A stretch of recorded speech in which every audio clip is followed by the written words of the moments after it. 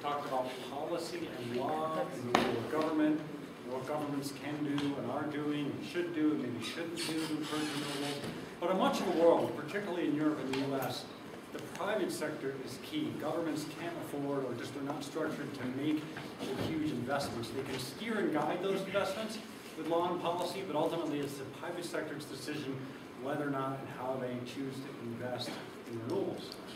So to help you understand how the private sector views the world and what the business opportunities are in renewables, we invited Professor Steve Lawrence from the business school here at CU to talk about that. I'm going to read you some pieces from Steve's bio. Steve is the Associate Professor of Information Management.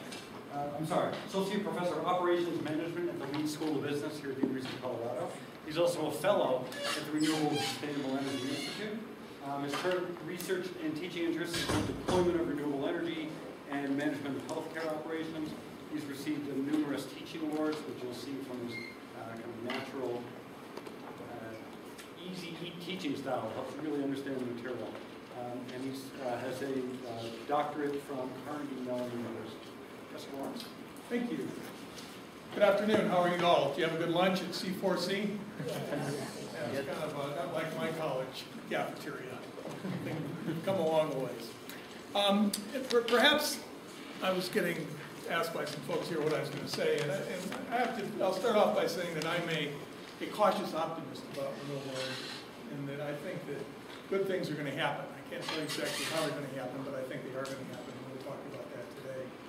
Um, let me tell you a little bit more about myself. I have a couple engineering degrees from Purdue University, worked in industry for a number of years, and then lost my way and went back to business school um, and uh, been teaching in business schools ever since.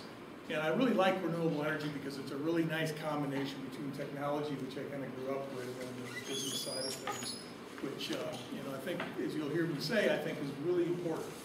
Um, that, that marrying those two things well together is critical for the long-term future of renewable energy and any technology.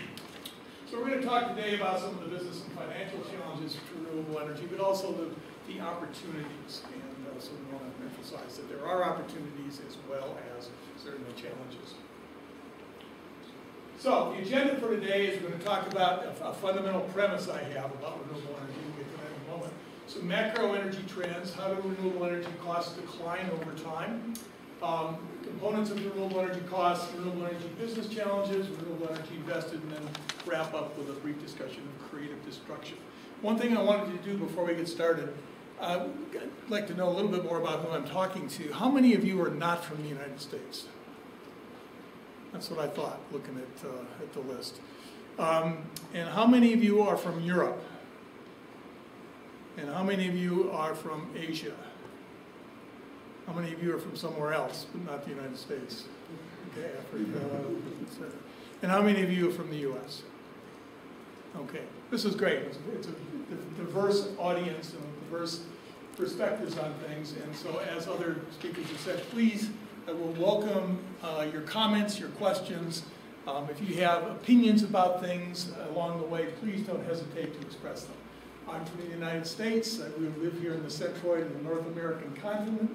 And so we tend to have naturally sort of a U.S. North American perspective on things. And I would welcome it if you choose to, to say, you know, Steve, um, it's not the way we see it from Europe or from Asia or from wherever you come from. And so I think that'll make for a much richer conversation, so please don't hesitate to speak up, some of you already have. So in any case, this is the agenda for the next hour. And here's my fundamental premise. And I come from a business school, so this won't be a surprise to you. That the sustainable energy technologies must be both technologically feasible, they gotta work, and they have to be economically viable. You know, in engineering school, uh, we just believed that if we built a better mousetrap or whatever, the world would beat a path to our door, as the old song goes. And that's just not the way it works, is that there are plenty of great technologies out there that never actually succeed because they, there are other factors which prevent them from succeeding or don't facilitate their success. And we want to talk today about what those other factors are. Let's first off take a look at some macro energy trends. We've seen some of these already, but perhaps I'll put a bit different slant on it. You know, where have we been? Where are we now? Where are we going? You've all seen this graph or one like it, looking at energy use by humankind over the last two centuries, since the start of the Industrial Revolution. And you can see that we're using more and more energy, and um, uh, as the population grows, as we become economically more prosperous, that just the amount of energy that we use to conduct our daily business is growing exponentially. And you can see you know, where the energy comes from, and there are no surprises there. In the United States, again, it's hard to get global data on this, but there are 3,250 utilities supplying, this sort of amplifies what was said by some of our other speakers about the balkanization of the uh, U.S. energy markets. But we're going to be focusing in our discussion today largely on electricity, since this is a PV, PV group. Uh, we'll focus on electricity, not on transportation fuels. But a lot of these comments uh, apply across the board. But there are 3,250 utilities, 1,750 other power producers that are not utilities that sell energy into the grid. So that's like 5,000 plus different energy producers in this country. 20,000 uh, plus miles of HV high voltage transmission, or nominally 37,000 kilometers at 230 kilovolts or, or greater.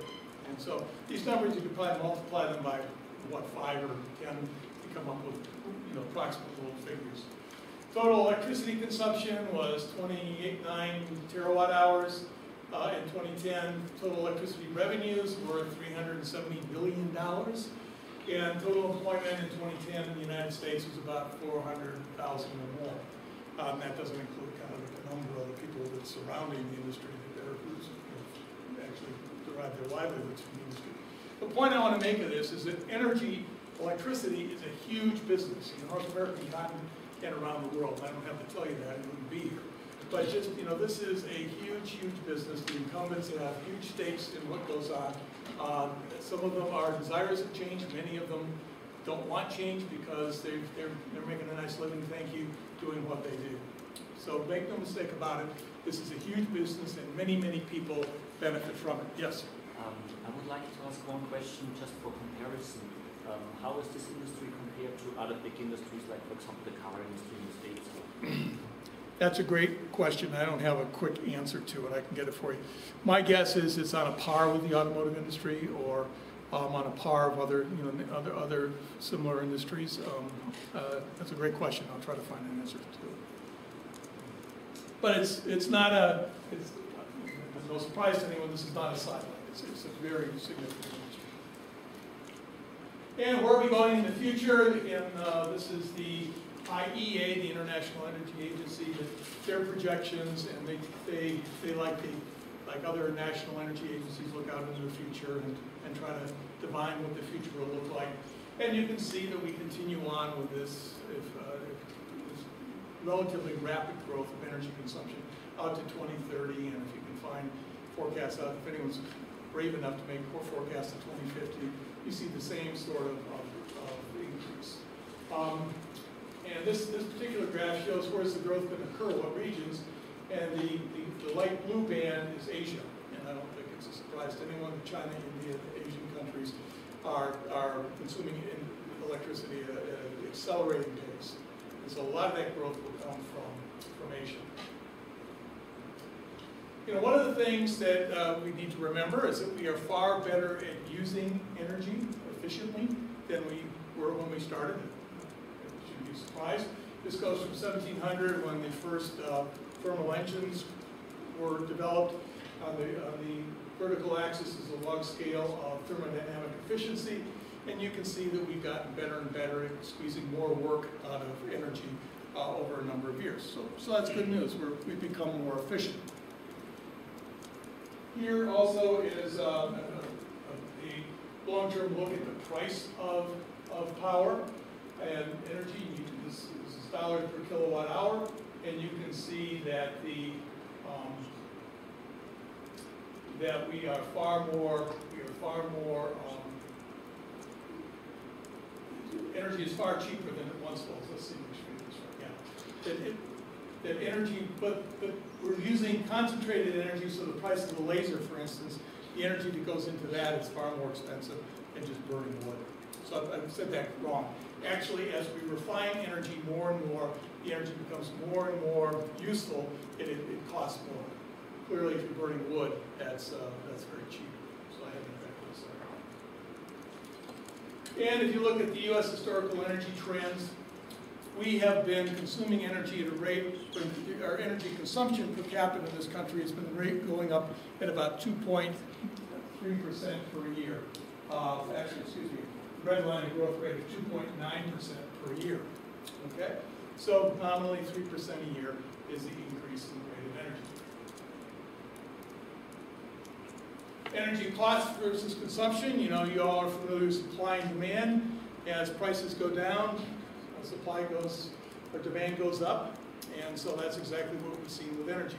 As energy has become cheaper over time, which it has, it is, uh, supply has gone up, and these two curves just demonstrate that. That, you know, that the cheaper energy is, the more it we tend to use.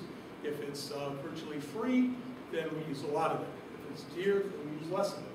I just came back from a conference in Europe here, and we were, somebody was asking earlier, how much is too much for the price of energy? Well, anyone that's from the U.S. that's traveled in Europe knows that gasoline there is, is, is, is far more expensive than it is here. It's equivalent of eight to ten dollars a gallon. Uh, we're paying currently three fifty a gallon. I think that's expensive. Now, the downside of that is, is that Europeans drive these small little cars. You know, uh, Mercedes, Audis. They're really tough to, you know, to exist with. Um, I'm making a joke they drive really nice cars. They're just not big, huge SUVs. When I came home after several weeks in Europe, you start to see these big, huge SUVs on the road, and so like, holy moly, do we really need cars this big? Uh, distances are longer in the North American continent, of course. But there is, you know, if, if prices go up slowly over time, people adapt. They've adapted very nicely in Europe. They, have, they make a, a variety of pretty nice automobiles and they have public and some other ways of coping with higher energy prices. Um, so it's an interesting question. How much is too much as far as the cost of energy? I think a lot of it has to do with the derivative of the change. If the, if the ramp rate is high, then it's hard for people to cope and adapt. And adapt. If it's slower, then that gives uh, people more time to adapt. And that's one of, I think, the challenges of energy is that how can we design policies that allow gentle change versus abrupt change?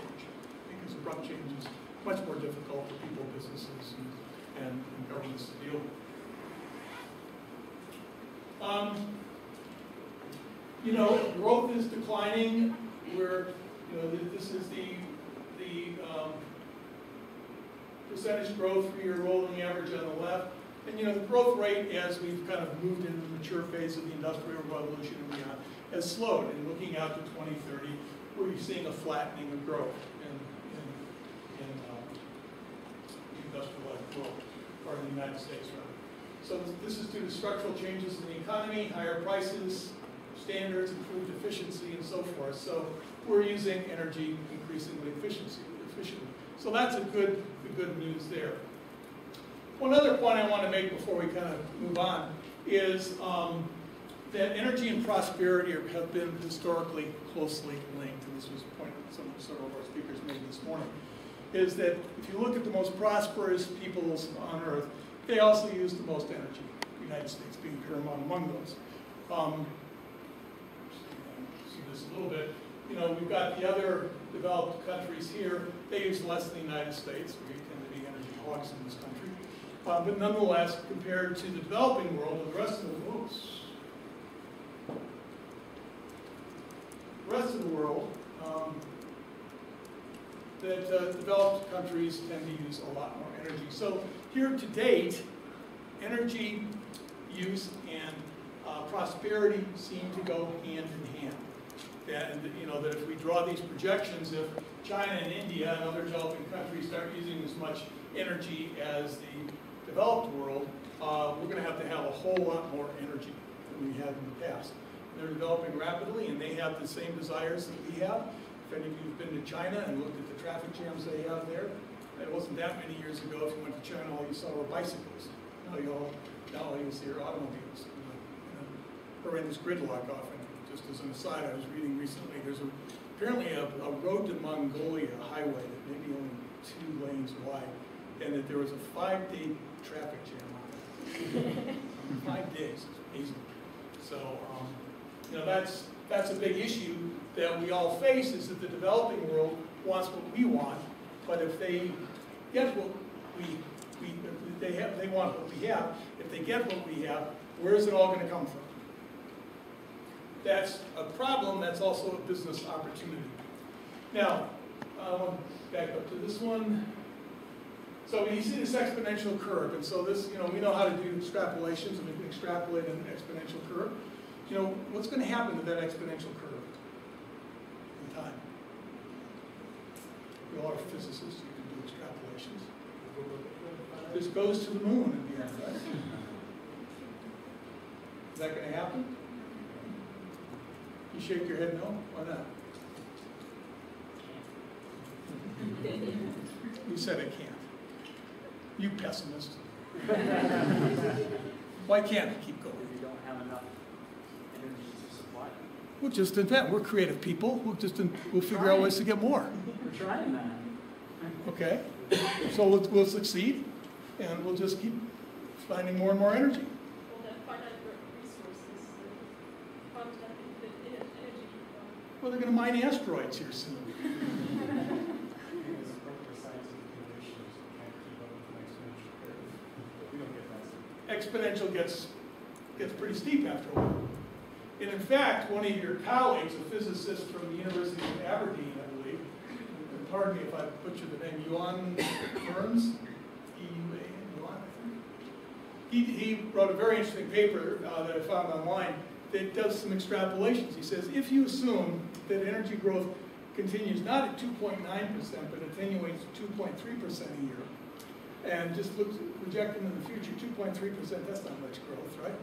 Well, he points out that after about 250 years from now, uh, energy consumption in the world will be equal to that of all the solar hitting land masses in the country, in the world. And that, um, or 20% of land, in about 300 years, all of land.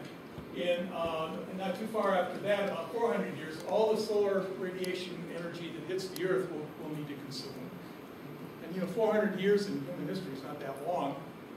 And that um, about 1,400, 1,300 years from now, we'll need the energy of the entire sun to keep our, you know, keep growing at that rate. And about 2,400 years from now, 2,500 years from now, about as long ago as the Roman Empire, we'll need the energy of the entire galaxy in order to sustain ourselves. Something tells me that's not going to happen. I I'm not a physicist like you guys, but that just doesn't seem like that's really possible.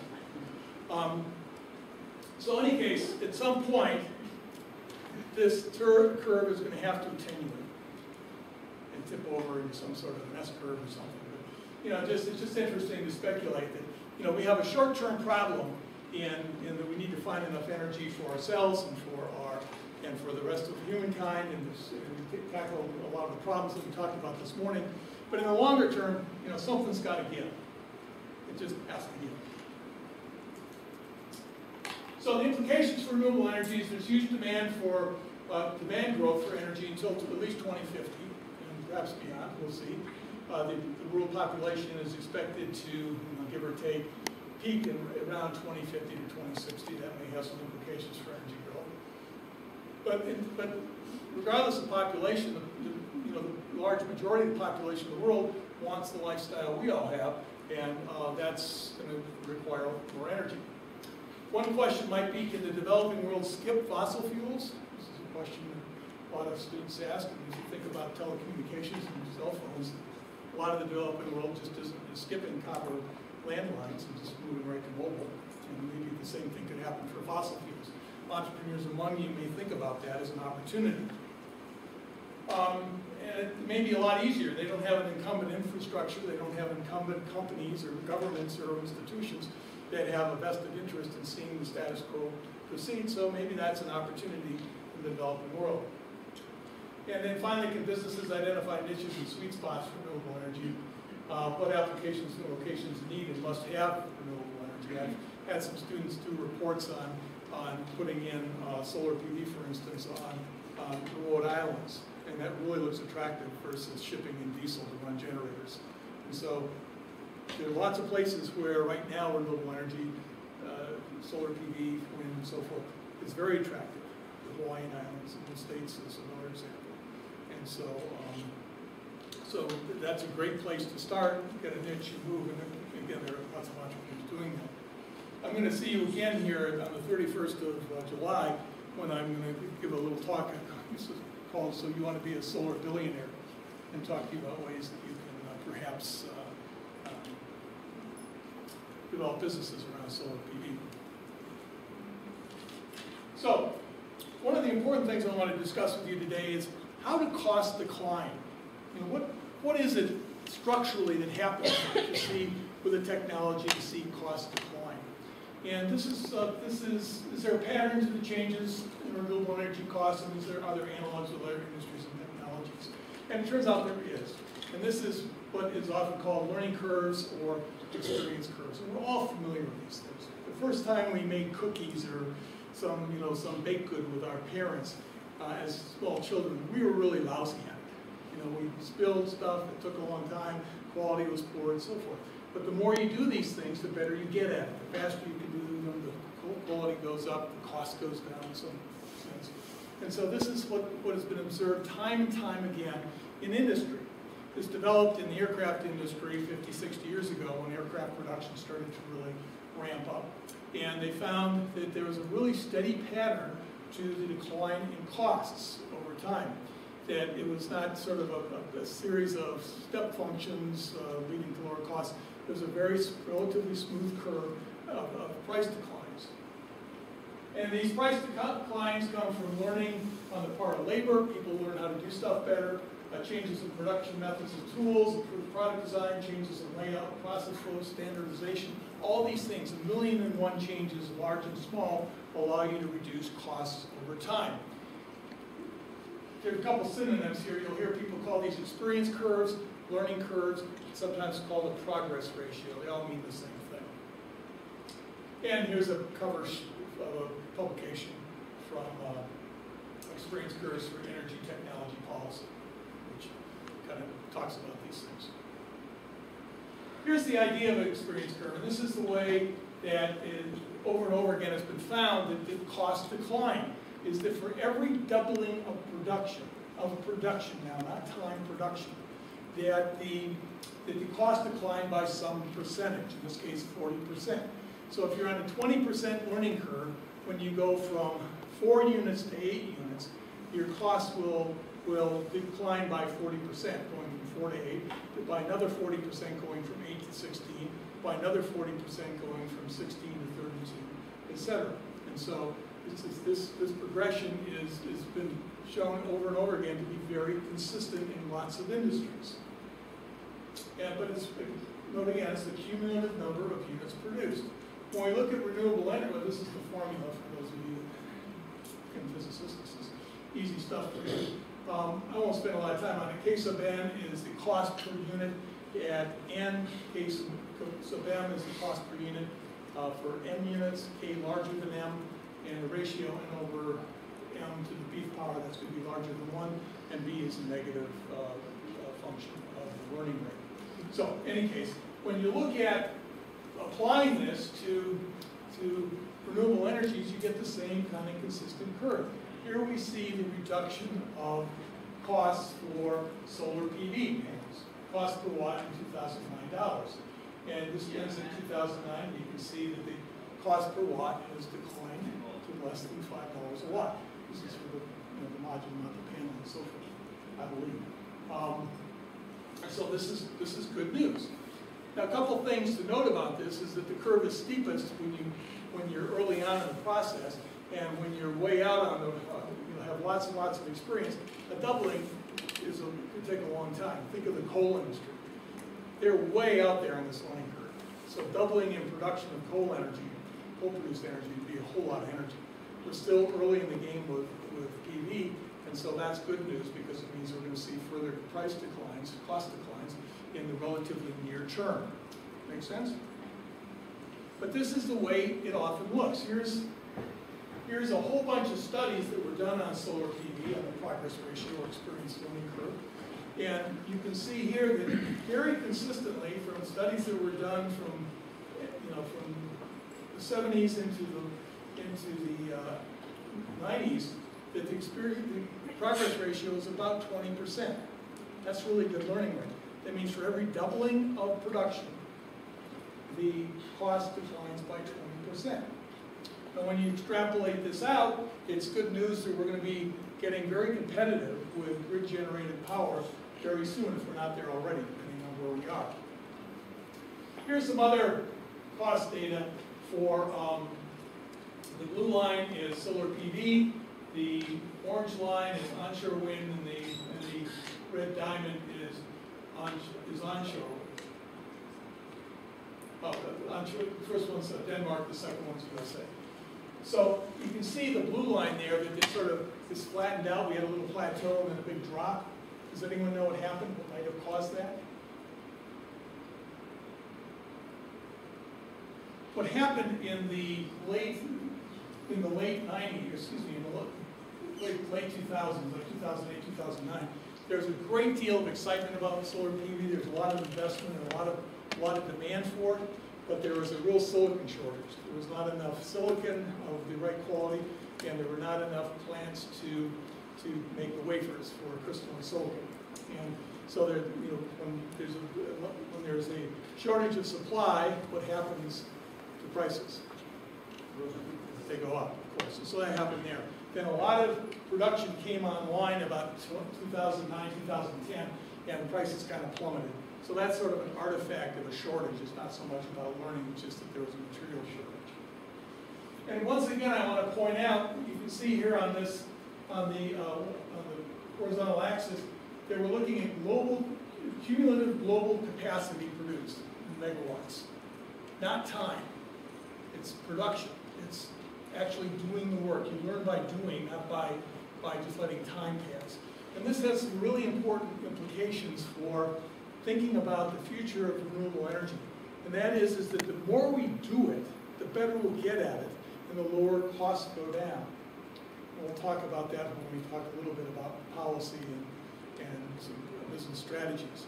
Is that what we, what's really going to drive the success of renewable energy, I think, or help to drive it, is doing it a lot.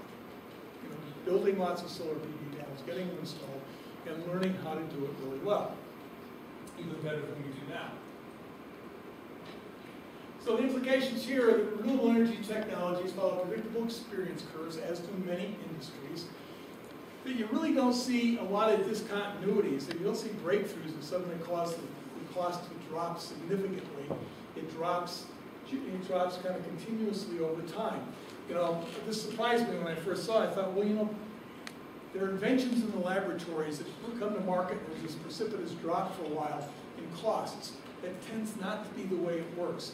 You know, that these learning curves rely on those breakthroughs, but they also rely on, and, you know, it takes time to incorporate those breakthroughs into, into production processes and into, into the marketplace.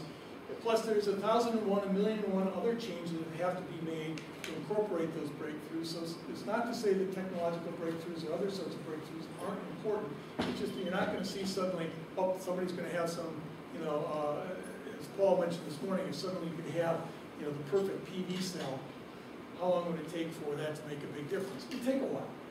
It would be great to have, but it would take a while because um, it just is going to, um, the whole infrastructure has to come, to be arranged to support that. So that's an important thing to understand. But experience curves can also help predict when one renewable energy technology will surpass, surpass a second or some other technology.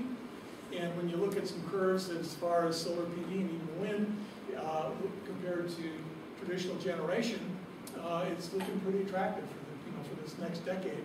That we're going to reach grid parity almost for certain with solar PV and wind. And wind is almost there now. The big the problem, and we'll discuss this, is that the problem with renewable energy sources, of course, is that they're intermittent. Um, can't turn them on and off. But uh, besides that, the actual generation costs will soon be at grid parity in our some places. All right. Well, what goes into the cost of, of renewable energy? What are the parts of it? we all tend to focus on the technology itself, the solar PV panels, or the wind turbines, or whatever, you know, the- these concentrating solar towers or whatever. But there are lots of other components that are important when you think about how to drive down the cost of, uh, of renewable energy technology. First off, there is the technology itself, solar PV modules, turbines, generators, control equipment, all that stuff. That's what we think of when we think of renewable energy. You folks are interested in solar PV, so we of course are focused on the modules and the, you know, the, the physics and chemistry of what goes into the modules and so forth.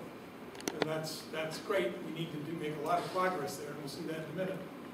But in addition, there are balance of system costs, which have to do with such things such as inverters, really exciting stuff like racks and mounting, um, transmission lines, substations.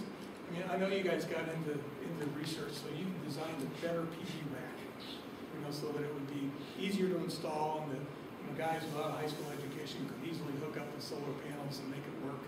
Um, And so, you know, that's, I'm sure that's why you're here today.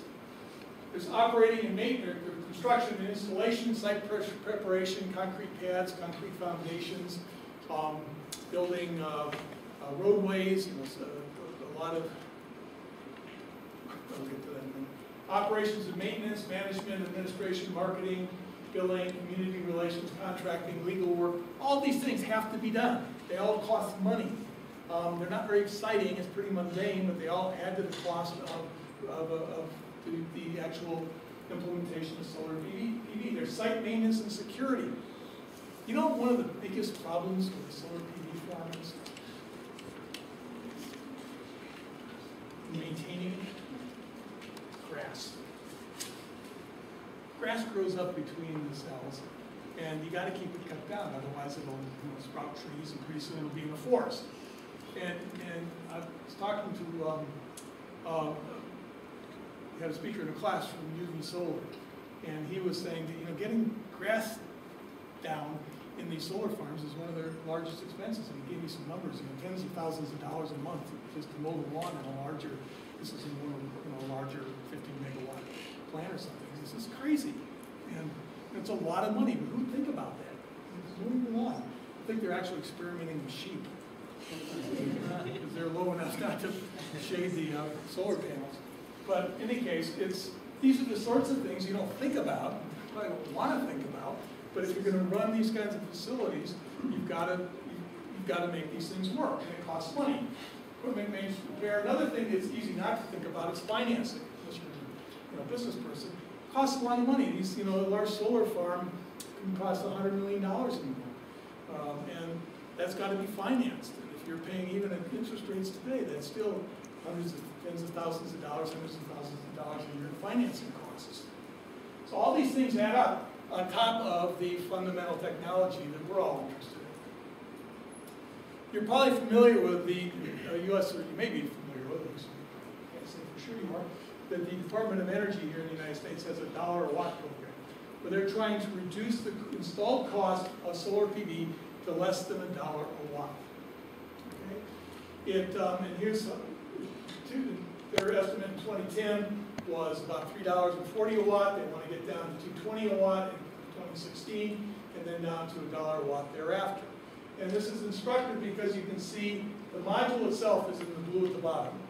So there's significant improvements that have to be made, made there, so please get to work and get that done. Uh, maybe by the end of your program here, my program, you'll figure that out. Uh, there's the balance of system and installation, we just talked about those costs, and then power electronics at the top. And so you can see that there's a lot of, wor- there's a lot of work that needs to be done on the technology itself in the blue, and there's also even more work that needs to be done on the balance of the system in order to reach that dollar a watt um, goal. And if they can, well, um, yeah. So in fact, we're moving rapidly toward this. I had, again, a speaker in my class talking about a big solar PV installation that her company put in, and she wouldn't tell me exactly how much, but she said that it was approaching two dollars a watt installed. So costs are coming down rapidly. There's an oversupply of silicon right now in the modules, so that's helping the cost. So here's the kind of things that goes into the balance of system for solar PV. Mounting and hardware, uh, racking hardware, wiring, other, I'm not sure that is, permits, system design, management, marketing, installer overhead, and installation labor, thirty-eight cents. There's actually a lot of companies out there, and, you know, not the main installers, but companies that are building racking systems, I was making a joke about that earlier, that will allow them to place solar panels, connect them, get them in place far faster than they can currently do it, because a big portion of this is the racking and the labor that goes into it. So they're working hard at reducing costs there. We've got a picture here of um, a solar PV farm that we visited in Rifle, Colorado. Rifle, fun name, is on the Colorado River west of here. And uh, Paul Komor every year takes a, a group of students on kind of a tour of different sorts of renewable energy plants around the state. And this was one I was participated in the Rifle.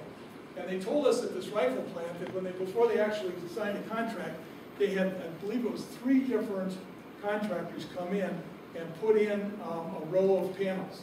And they timed them to see who could do it most quickly. Okay? Because this was a big portion of the cost. And so you can imagine a race, I don't know that they did it side by side, but a race to see who could get the panels in most quickly and cheaply. Because drilling holes in the ground, putting posts in the ground, you know, putting together all the, the framework and so forth for this, this reasonably large solar farm was a lot of work, and they wanted to see how fast it could be done. So a lot of this mundane stuff that most of us find boring, um, myself included, is really important as far as driving down the costs. And you can see here, if they get, if they meet their goal, a dollar a watt, that this bar, big bar is the Japan wholesale electricity price, the German wholesale electricity price, and the blue band is the US price. And so at a dollar a watt, you're very competitive with grid-generated electricity, fossil fuel-generated electricity. So that's an ambitious goal, but it's one that can be achieved. Solar PV is going to look really attractive as far as the cost of the energy production itself. Here's First Solar, they make amorphous crystals. Um, and they're looking to, by 2014, to significantly reduce their costs. This is out of a, uh, one of their publications. And you can see they're looking at efficiency, that would be the, you know, how much energy is generated from the module itself, the sort of things you guys worry about. Throughput, how fast can we make them, uh, reduce spending, low cost location, plant scale, bigger is better, et cetera. So, you know, again, the technology is important, but this piece is also very important, the, the, the things we don't think about. So from a business perspective, the technology is important, but there's a whole lot of other things we need to worry about. And finally, this is a, um, this is a slide from a, a fellow from Vestas that came in and talked to my class, talking about some of the operating and maintenance costs. You know, once you got the plan up, where do you spend your money? And this is really interesting to me because you can see the numbers here that operating and maintenance just, you know, wind turbines need a lot of maintenance and, and you gotta just maintain them and keep them up. Um, property tax was interesting, was really large. It's just paying the local governments to use their land, or use land, I should say. And then finally, this total firming and balancing expense of 2.7, 2.8 million dollars a year for this large farm. This is essentially grid integration expense, how much it costs them to integrate their intermittent wind power with the grid. I'm not exactly sure what the components of that cost are, but it's really significant. And in the talk, he said this is an increasingly important and costly piece of building a wind farm, is getting it integrated with the grid and, and, and, and uh, perhaps paying for some natural gas generation or fines or fees if you don't certain targets or whatever. I'm not quite sure what it is. I need to find out. But here again, this is, given that renewables are, are intermittent, or variable, as they like to say, that this may be an increasing expense that needs, needs attention.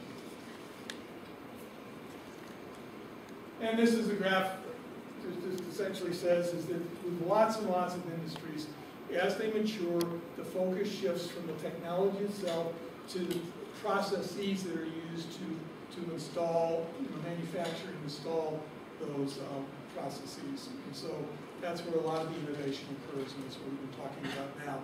The technology clearly is still important, but all the things that surround the technology are increasingly important as this, as this industry matures. So the implications for renewable energy here are, is that technology advances are important, but technology alone is not enough. I made that point several times today. Majority of costs most or all of, of, systems are not in the technology. That's not the case with PV yet, but it's moving in that direction.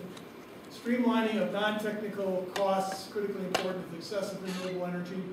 Um, and as renewable, renewable energy technologies mature, the focus shifts from the technology itself to the systems and processes.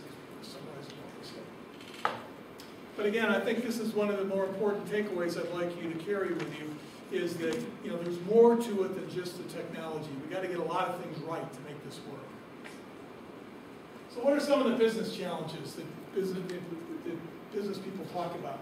I gotta periodically go to conferences of, uh, uh, renewable energy, um, project developers and so forth, and and just listen to the talks and what they worry about. And Here's some of the things they worry about. They worry about individual project challenges, risk assessment, permitting licensing. And they also worry a lot about systemic challenges that we've heard some, we've heard about this morning. For instance, inconsistent, erratic government incentives, complex, expensive funding schemes, uh, energy storage, natural gas, what's that gonna mean? And then lack of strategic energy policy, particularly in the US. And I've got a note here, the best outcome for renewable energy is increased volume. Everything will come together if we can continue to keep the ball rolling and, installing and producing more renewable energy technologies because that pushes us down the learning curve, costs go down, uh, more people want it because the costs are lower, and so we get this virtuous cycle if we can manage that. If it stalls out, and natural gas kills the develop, or you know, the progress of renewable energy, we're gonna, that would be bad. We'll talk about that. Uh, this is from, again, the same fellow from Vestas that came in. He said, our job is really about risk mitigation. We know the technology works, we can make it work, but there's lots of risk surrounding what we're doing that we need to diminish and mitigate. Uh, the speaker I had from juwi Solar said essentially the same thing. He said, we're essentially in the risk mitigation business, same sort of comment. And the risk they worry about is development risk. Can we get access to the land? Can we get contracts to use the land? Uh, can we get local government approvals? Can we get environmental permits, which in many parts of the developed world are not that easy to get? Uh, transmission, interconnection, and size, et cetera. There are, so those are development risks. There's resource risk. Is there really as much sunshine as we think there is? Is there really as much wind as we think there is? You know, you make your best estimates and measurements, but you never know until you live with it for five or ten years. Commercial risk, price volatility. Right now, a lot of energy prices are moving all over the map. Uh, energy integration, what's it going to cost to integrate with the grid? As I just mentioned, uh, Sees that those costs are going up a lot faster than they thought they would. Transmission, do we really have the transmission we think we need? Can we get somebody to verify it for us? And then there's the technology risk. Can we really get the production factor that we think we can? Uh, is it going to cost more to maintain than we think it will? Uh, life of wind turbine, the life of the wind turbine generator in the wind industry, is it really going to last as long as we think it is? I mean, especially a wind turbine, you're dealing with some pretty heavy-duty mechanical parts here. Hoping they're going to last for 20 years. You know, that's a long time for, for gearboxes and so forth to function without having major overhauls. So these are all the sorts of things they worry about when they think about the project itself. They also worry about permitting, licensing, approvals, and I expect this is similar around the world, in at least in developed countries, and probably in less developed countries as well. Here's the permitting agencies required for one wind project. At the federal level, U.S. Corps of Engineers, the U.S. Coast Guard, U.S. Wildlife Service, Department of Defense, Federal Aviation Administration, Environmental Protection Agencies. Then at the state level, another failings of organizations. And then at the local level, uh, Cleveland and Cuyahoga County, which is in Ohio, uh, they got into the act. So all these people had to be, had to get your ticket punched with them, often do studies or, or do something in order to get your project going. And that's just the lay of the land in, in, in most, many parts of the world. There are lots of, lots of organizations, government organizations and others, that have an interest in making sure that your project uh, doesn't hurt the environment, doesn't hurt the um, local economy, whatever it is. And you can almost always expect at least some local resistance, whatever you're doing, wherever you're doing it. Um, this is a number of acronyms. NIMBY, not in my backyard. Banana, build absolutely nothing anywhere near anything. Nope, nowhere on planet Earth. And Lulu, locally unwanted land use. And so these are the sorts of things that, you know, that, that not these are the acronyms to describe what goes on with the many projects.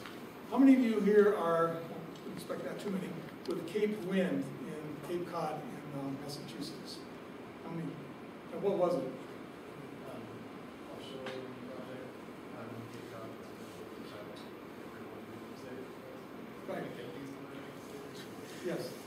Yeah. It, this was an offshore wind project off of Cape Cod, Cape Cod, which is in the eastern, northeastern Atlantic shore of the United States. And Cape Cod is a very kind of well-to-do place where a lot of politicians and other wealthy people have summer places and kind of go there from Boston or New York to, to with their families. And, and the, the wind farm would have been just on the horizon.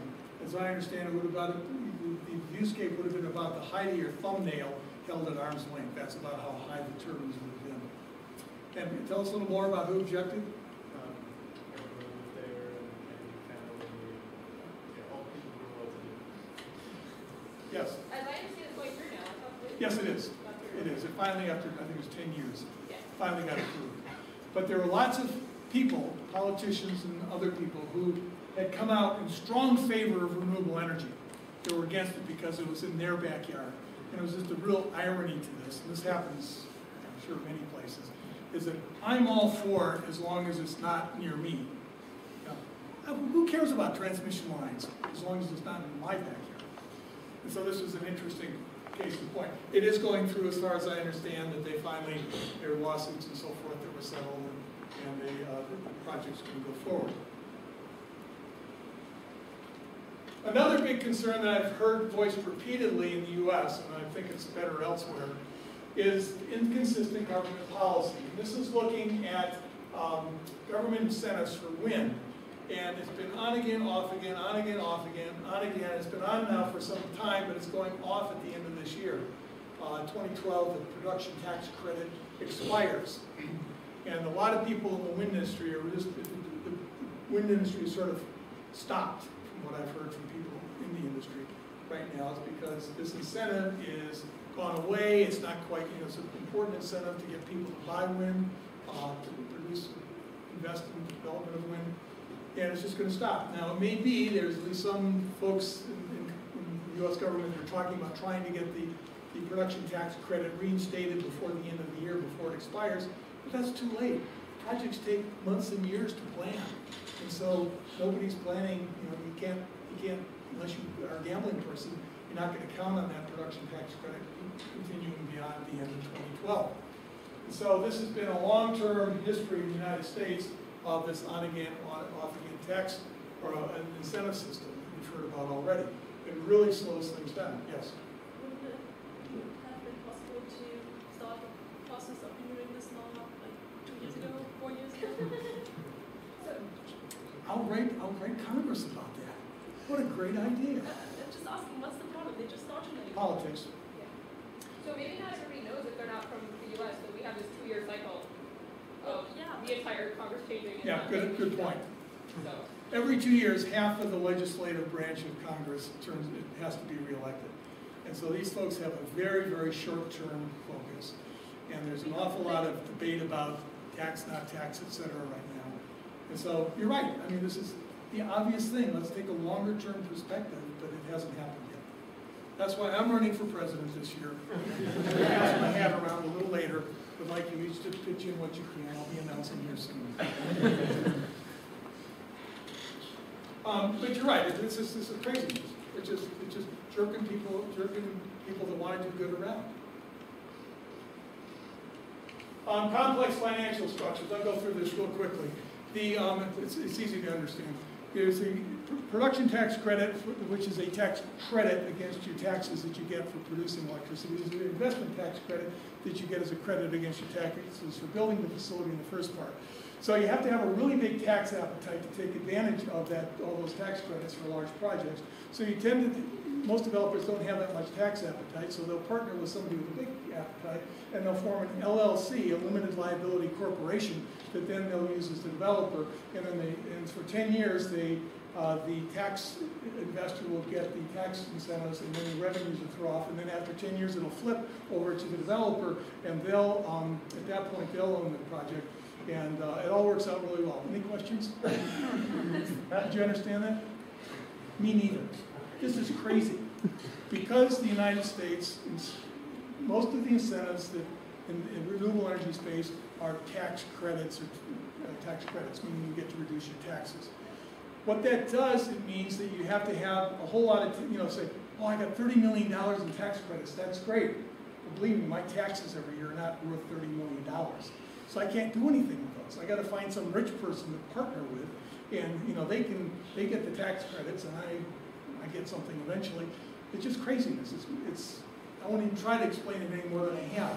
It's been a couple, it's been a couple of weeks working on this in my class to try to explain to people how this works. Um, and so, and, you know, people in the industry say this is crazy. We spend a fortune on lawyers and finance people and so forth to get these deals done. It doesn't have to be this complex. Another problem is intermittency. We've talked about that. Moving just quickly, you know, if we could figure out some way of storing electricity at a reasonable rate, that would be wonderful. Pumped hydro is one way. Uh, some of my research right now is looking at how much storage would help. And the work, initial work I've done is that even a small amount of storage at the right place would really help with the intermittency problem. Um, I won't get, go into the details, but happy to talk to you offline if you're interested. You know, there's also a lot of hope that as we put more and more renewable energy online, that there'll be some sort of a portfolio effect. When the wind is blowing over here, uh, this- it may be shady over here, or if the sun's shining here, the wind not blowing there, it'll all sort of even itself out. Um, But if we could figure this out in some, some coherent way, uh, that would make move renewable energy forward a great deal. And there's a lot of interest in the business community in storage as a consequence. Lack of energy policy, um, business and financiers hate uncertainty. You know, what, what business people want more than anything else is they can tolerate risk. Risk is different from uncertainty. Uncertainty is we just don't know what's going to happen. Risk is sort of like going to Las Vegas and what's the odds that when a roulette wheel that it'll come up as red or come up as 38 or whatever. That's, that's a known risk. You can value that risk and protect against it. What's uncertain is, are we going to have a pr- production tax credit come July or January 1 or not? That's uncertainty. And so they, business people hate uncertainty. You know, again, uh, on again, U.S. production tax credits, an example. In Europe, particularly Germany, where I'm most familiar, is that they have a feed-in tariff, it's guaranteed for 20 years. It's really promoted renewable energy. Um, I spent some time in Regensburg a couple of years ago, and there's solar all over the place. It's on, it's on side of highways, it's on rooftops, it's on businesses, it's everywhere because of this feed, attractive feed-in tariff, which by the way declines over time, which makes good sense. But people have, know what's going to happen and they can account for it. Um, Germany's an outstanding place for solar PV. It's, you know, it's rarely cloudy, it's sunny there all the time, lots of sunshine. Oh, wait a minute, I'm thinking of southern Spain. Um, but you know, if you've been to Germany, it's a lovely place, I like Germany a lot, but it's not terribly sunny. And nonetheless, they've got lots and lots of solar PV because of this, um, because of this heating tariff. And so something like that, they're doing this in Ontario, Canada as well, um, and it's promoting renewable energy uh, significantly there as well. So something like this would make a lot more sense, I think. Another issue, we spent a lot of time on this, is the need to price externalities. That is to say that um, burning fossil fuels have lots of costs. They're not captured in the prices we pay for. And so there's, there's pollution of, of various oxides, there's particulate pollution, there's mercury pollution, and of course there's CO2. None of that's costed in the sense that it just is dumped into the atmosphere. And so this is a problem with the commons, if you're, the tragedy of the commons, if you're familiar with that concept, is that we all breathe the air, um, but there's no incentive for any one person not to pollute the air. I mean, everyone may say, I don't want to pollute the air, but until there's some sort of a uniform incentive, there'll always be the, there'll always be somebody that will defect, and win advantage by defecting, by not playing by the rules. So you have to have rules. in order to, to enforce, say, CO, well, mercury emission, emissions or, or acid rain, sulfur, sulfuric acid emissions or whatever. And so that's a, that's a role of government. It's one that, that the world has been trying to deal with, but so far with less than perfect success. But if that's priced, then that would certainly help if those externalities of carbon was taxed or if we had cap and trade or something. That certainly would provide incentives for renewable energy, and we all know that. We've talked about natural gas. What's this gonna mean to renewable energy? Who knows? It's ubiquitous in the world. The, this is a, because we want to keep things really up to date, at night camp, this is from this week's uh, Economist magazine, these, uh, these diagrams. Just pointing, they have a whole special issue on natural gas. Natural gas is ubiquitous. It's available around the world. Here's, it's available, this particular map doesn't show Europe, but here, there's a lot of natural gas in Europe as well. Almost any place where you've ever found coal or gas or oil, there's, there's, there, there are shales that will produce natural gas.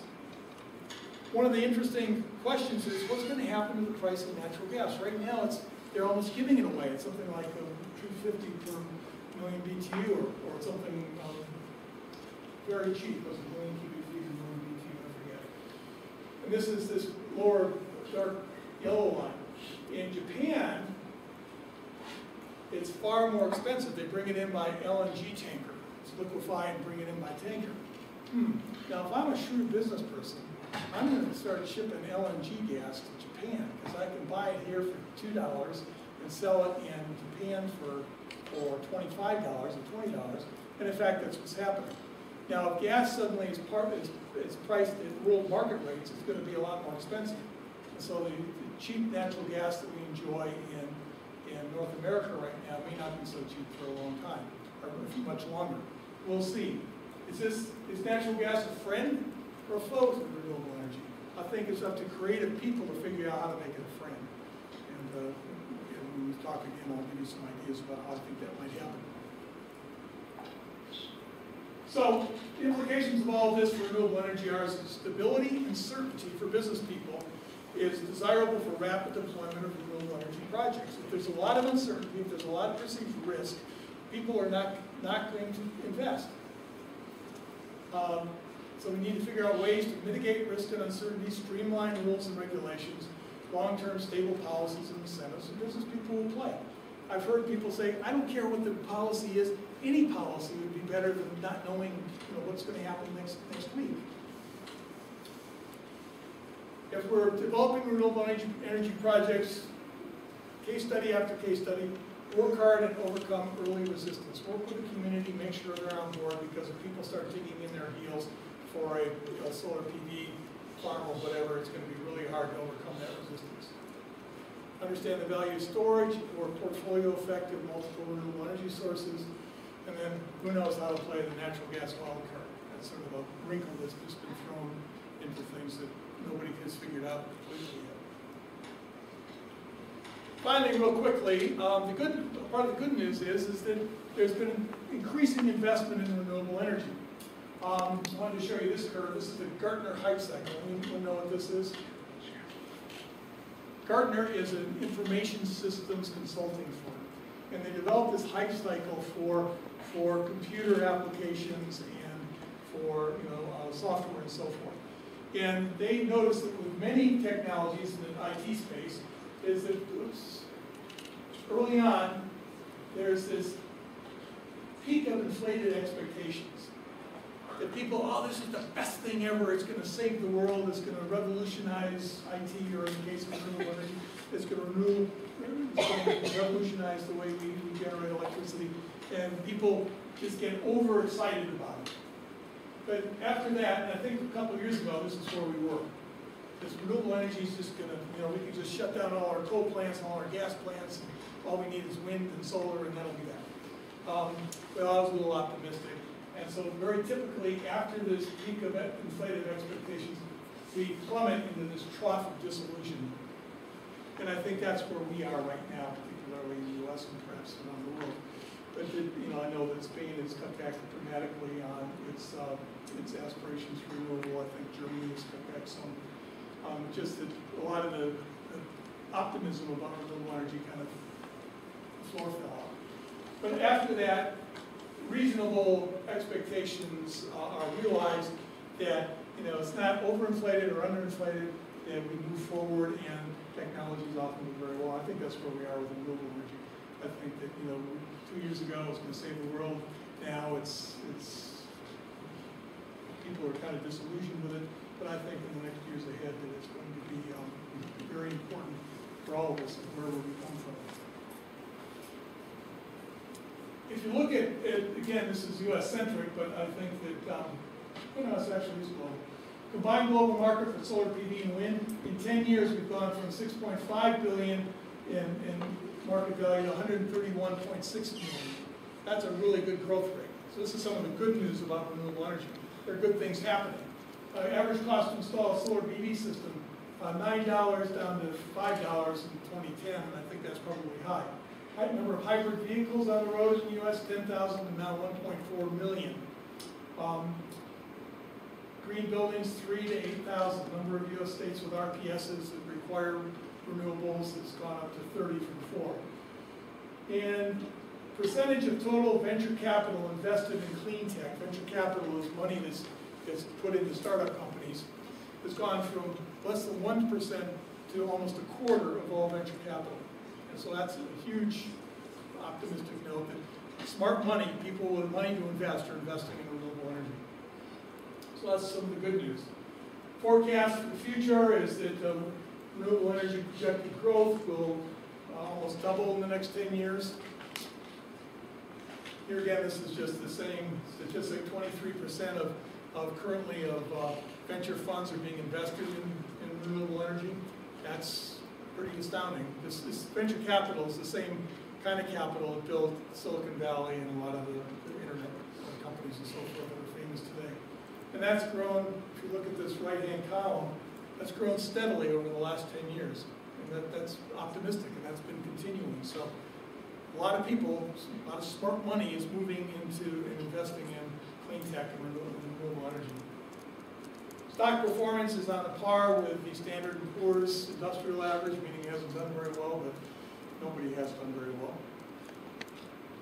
And then this is just a list of some of the biggest investments in the last, uh, in the last year, and I won't spend time on that. Implications for renewable energy, great interest among investors for clean tech, and renewable energy. Investment capital is available for attractive projects. There's lots of money out there looking for good projects. No lack of capital if you've got a really good idea. Uncertainty that's hindering investment is government policy and incentives, financial markets, the global economy, which is up and down, and the role of natural gas are all kind of suppressants. But I think those will be overcome as, as uh, things evolve. And finally, um, creative destruction. By, you know, there was a term invented by uh, economist by the name of Schumpeter, and he essentially says is that there's the world of innovation is constantly kind of in turmoil, constantly turning over.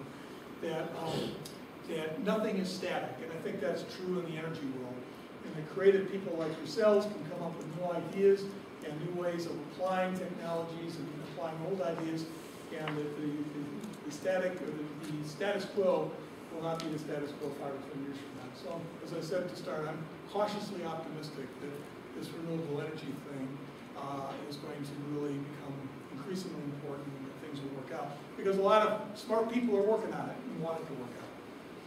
So that's what I have to say. Any questions or comments at this point? Yes? Is the capital that's available now projected to stay as high as it is, or is that gonna decrease for the I think it'll stay where, where it is. There's an awful lot of money that's, that people are sitting on in the world right now because of the uncertainty. And if they can find projects that they think make sense, where the, where the risk-reward ratio is correct, they'll invest in it. Um, and, you know, what would cause that to change would be that they have alternate, well, you know, catastrophe, asteroid hits, um, something equivalent. Uh, is that there's suddenly they have alternative places to invest their money that are more attractive. I don't know what those would be. Um, maybe mining asteroids. And the, and asteroids may made of gold or something, and suddenly that's where they'll, they'll invest their, their money. But right now, I don't see anything that's nearly that attractive as uh, renewable energy possibly could be. To follow up with that, you presented as a percent, as twenty-three percent. How about as a dollar amount? Did that increased at the same rate, or is that different? Um, it probably fell off. I think it may have, yeah, total invested, you can see here that it fell off in, in, oops, wrong, wrong slide, so. Um, yeah, you can see in two thousand nine, it really fell off because of the downturn of the global economy. And it's kind of picked back up again, almost to where it was in two thousand eight. This is total clean tech investments. You know, the whole investing world stopped investing in two thousand nine. So this is, that's a good question. Yes? Uh, you mentioned that business people don't like and hate these uncertainties. Yes. So, uh, what's the current status of uncertainties of renewable energy from the point of business people? I think that in, I think that, I think that they're becoming much more comfortable with renewable energy than they were five years ago. Um, that they, you know, that there are wind farms that have been built that have been very successful, there are solar PV farms that have been built that are very successful. So the known, the unknown is becoming more known. Um, the uncertainties tend to be more qualitative now, in the sense of uh, government incentives, um, those sorts of issues, more so than the technological risk that people perceived you know, five years ago. You know, five years ago, maybe, maybe longer than that, you know, oh, solar PV, that's, they put that on satellites. Uh, I don't think I want to invest in that, it's too uncertain. Now it's like, oh yeah, you can drive around the country, say, go to Rifle, Colorado, all places, uh, small little town in the mountains, and find a solar PV farm that's working really good, really well. And so I think that a lot of that uncertainty has subsided. And I think if we can put together good business plans around the world, money will continue to, to follow on this, my opinion.